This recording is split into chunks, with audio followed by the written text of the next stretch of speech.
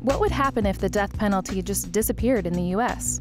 The government could continue executions of the roughly 3,000 inmates currently sentenced to death, or retroactively sentence them to life without parole instead.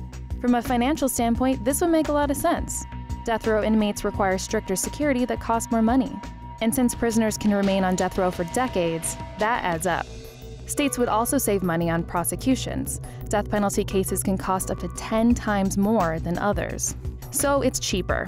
But shouldn't serious criminals pay the ultimate price? Perhaps. But since 1973, more than 150 people on death row were eventually found innocent. Prisoners wait years, even decades, for execution, not knowing when or if it will come.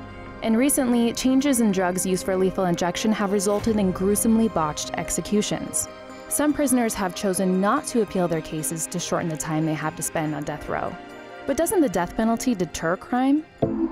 Actually, murder rates in states without the death penalty have remained lower than states which have it.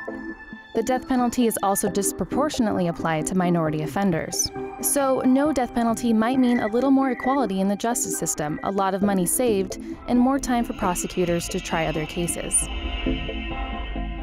32 states still execute their prisoners, and lethal injection is the poison of choice. But European countries who abolish the death penalty and